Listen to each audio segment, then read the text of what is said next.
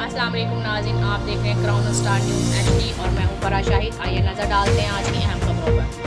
खबरों के सिलसिले को जारी रखते हुए खबर शामिल करेंगे अलाहाबाद से, जहाँ पे हमारे नुमाइंदे महर मोहम्मद उमैर की रिपोर्ट के मुताबिक पुलिस की कार्रवाई खातून समेत तीन मंशियात फरोश गिरफ़्तार, चार किलो मंशियात बरामद, मुकदमा दर्ज तफसीलात के मुताबिक अलाहाबाद पुलिस ने नवाही गाँव भगियाना में कार्रवाई करते हुए खातून नजीरा बीबी रांझा और इसके अलावा अली को मंशियात फरोख करते हुए रंगे हाथों गिरफ़्तार करके चार किलो चर्स बरामद कर ली। इलाहाबाद पुलिस ने मंशियात फरोशों के खिलाफ मुकदमा दर्ज करके तफ्तीश शुरू कर दी।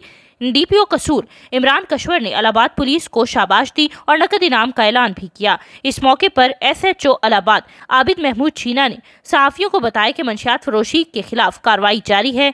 मंशियात फरोशों के खिलाफ कानून हरकत में आ गई है। किसी के साथ कोई रियायत नहीं बरती जाएगी। मंशियात फरोश माशरे को तबाह कर रहे हैं और तबाही की तरफ़ ले जा रहे हैं और नौजवान नस्ल तबाह हो रही है।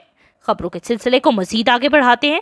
अलाहाबाद से हमारे नुमाइंदे महर मोहम्मद उमैर साहब की रिपोर्ट के मुताबिक, बार कौंसल चूनिया का बायोमेट्रिक सिस्टम का अफ्ताह vice chairman Punjab bar council Chaudhry Amjad Iqbal Khan, member Punjab bar council Malik Riaz Ahmad Khan और सदर डिस्ट्रिक्ट बार मिर्ज़ा नसीमुल हसन समेत वकला की कसी तादाद में शिरकत तफसीत के मुताबिक आपको आगाह करते चले। के।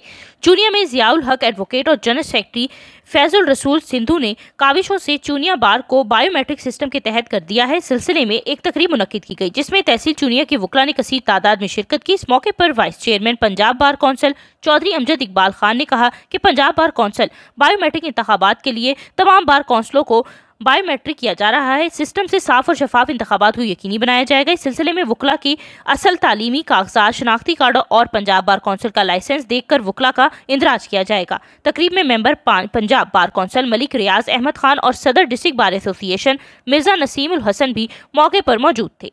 खबरों के सिलसिले को आगे बढ़ाते हुए अलाहाबाद से हमारे reporter, bureau chief Mehar Mohammad Umair की रिपोर्ट के मुताबिक अलाहाबाद कसूर रोड पर हादसा।